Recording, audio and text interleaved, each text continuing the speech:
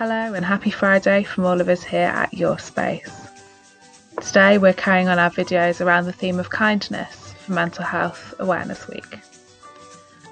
As today is Feel Good Friday, we think it's the perfect time for some actionable kindness. That's right, help someone else and yourself feel good this Friday by being kind. After all, actions speak louder than words. Perhaps she could write a letter to a friend. Offer to pick something up for a neighbour when you go to the shops. Or clear away some rubbish on your street when you're out for a walk. But do so safely. Here at Your Space, we also have some activities you could take part in too. If you're a fan of sending post, why not become a member of our Letter Writers Against Loneliness team?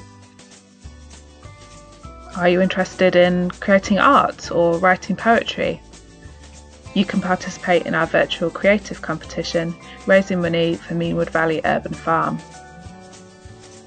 Other projects worth checking out include the Random Act of Kindness movement and Create to Connect by 64 Million Artists.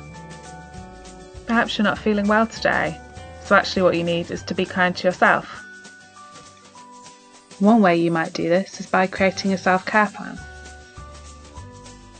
Mindwell Leeds have lots of resources on their website, and there's also one created by Social Work Tech that's really great too. You may also find that the exercises at selfcompassion.org are helpful. So, what actions are you taking to feel good this Friday?